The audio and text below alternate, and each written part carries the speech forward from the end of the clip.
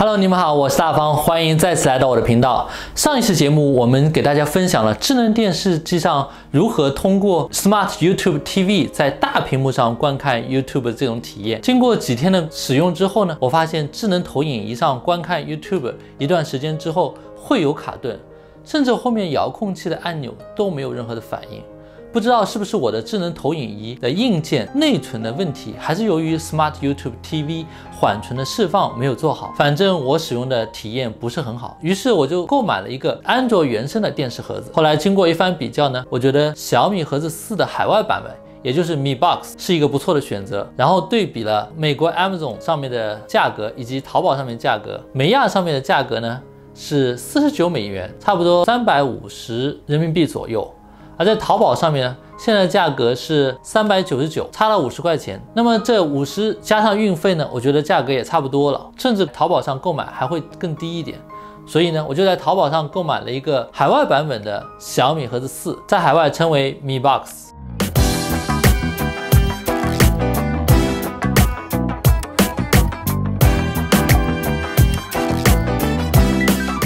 我们来看一看这个米 Box 和国内的小米盒子四的硬件是几乎是一模一样的，只是在内置的系统上面，一个是采用原生的安卓操作系统，安卓的 TV 版本，并且呢，它是 Netflix 官方授权的播放设备，在 Netflix 官方的授权列表上面是可以查找到的。同时，它的遥控器和国内版本也有小小的区别。多了两个按钮，一个是 Netflix，另外一个是 Live 键，也就是你点击这个按钮之后呢，就直接可以打开 Netflix。好了，我们来看一看这个小米盒子，价格也不贵。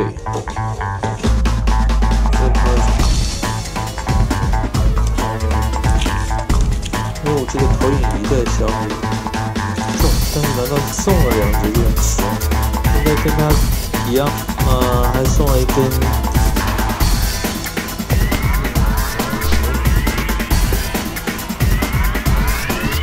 然后是按对码，好，成功。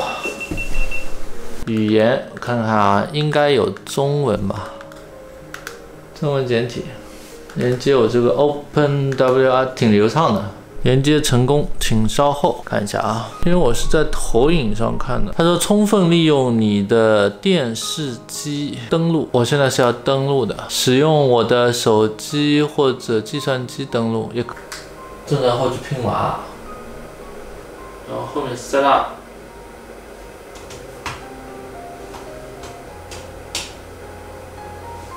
好，输入我的代码四二七七五四。哎，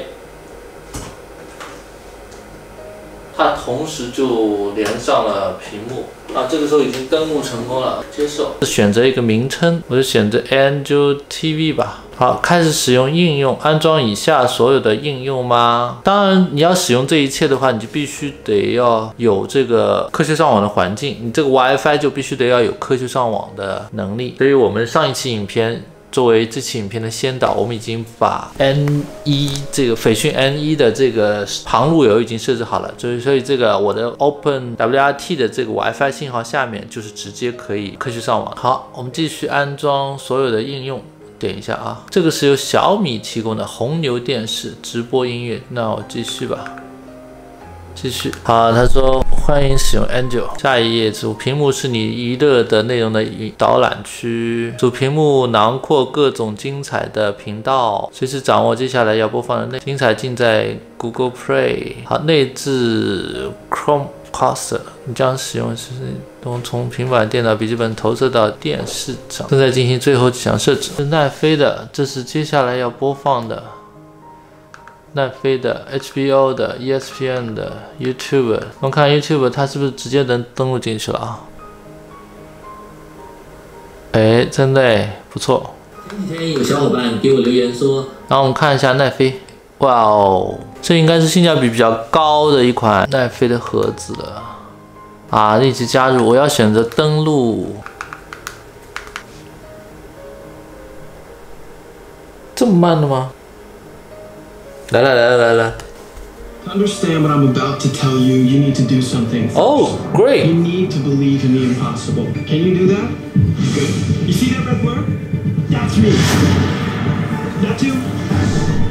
这一切呢，必须得你有一个稳定的通过路由器科学上网的一个环境，并且你的线路呢要能够支持 Netflix 观看。如果你对 Netflix 还不是很了解呢，请一步观看我这期节目。这期上面呢，我专门介绍了如何注册一个 Netflix，以及利用谷歌云的 VPS 线路呢，也能够观看 Netflix。这个影片的链接地址呢，我会放在我。这个说明文档下面那期影片呢，我详细介绍了 Netflix 这家公司以及如何注册一个阿根廷的奈飞账号，全球最低的费率的奈飞账号。有兴趣的小伙伴可以去观看一下。好了，以上就是本期影片的全部内容。如果你对我分享内容感兴趣的话呢，请订阅我的频道，记得一定要打开那个小铃铛哦。一旦我有最新影片上传呢，它就会在第一时间通知你，这样你就不会和我最新内容擦肩而过啦。我是大方，我们下期再见。